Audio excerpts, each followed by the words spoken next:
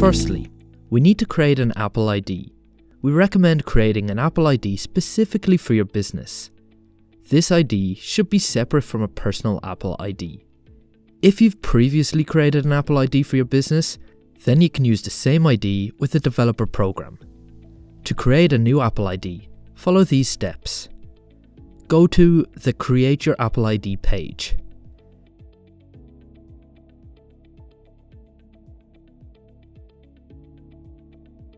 Fill out the form using the company email address and complete all required security questions.